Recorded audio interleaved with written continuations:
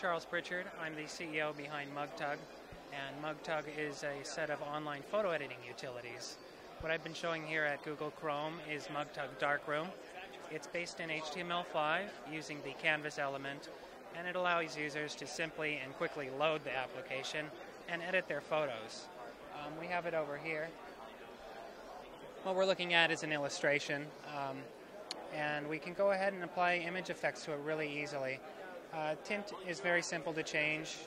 You can see a full um, histogram of the colors that are happening there. Having that live histogram really helps for people who don't exactly know what a histogram is, like myself. Um, so we can see that I'm stretching the colors. And uh, like many applications, we can just set it to undo or hide the changes I've made.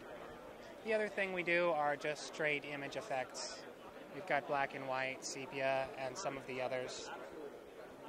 And they're kind of fun to use. Um, what we do here also is a color blindness simulation.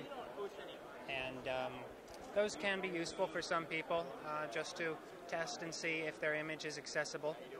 And there's a technique called Daltonization, which is meant to help change photos so that they're more visible to people who do have color blindness, which affects about 8% of the male population. So this application, um, again, is very simple, very quick to load, works in every major browser that supports the HTML5 APIs. It can scale and work on um, smaller devices. Um, what I'm doing here is I'm up, I'm uh, having it scale up and down um, this is also darkroom, but uh, as you see, you know, it can scale up and down, which means it can work on a mobile device if it needs to.